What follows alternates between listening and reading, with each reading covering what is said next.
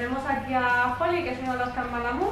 Ha venido hoy a darse un bañito y a quitarse la muda, ya está cansadita porque llevamos unas horas con ella.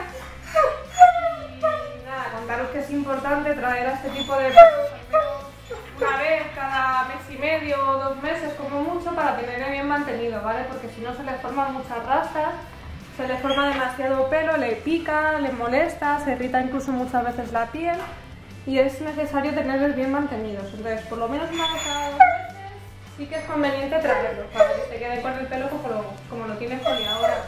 Eh, No se les debe rapar ni se les debe cortar demasiado el pelo. Le puede causar problemas en la piel y al final nunca es conveniente raparlos. Siempre, siempre vamos a recomendar en peluquería que se les cepille y se les tenga mantenidos.